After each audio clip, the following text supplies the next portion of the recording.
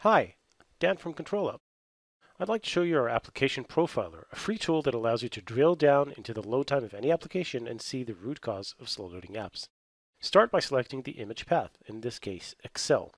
Then select the command line to point the profiler to a specific file, in this case an Excel file, and click Start. The profiler opens the file and analyzes it in the background. It measures the modules, the visible windows, the I.O., and user interactions like mouse clicks and keyboard actions. You can see this file is taking long to load.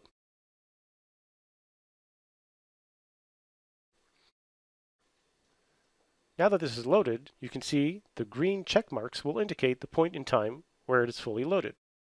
We'll have a look at the normalized metric values to see where the metrics converge. That's a pretty clear indication that this is an I.O. issue. We can then go back and look at the I.O. graph results to see that this is actually just a very large file.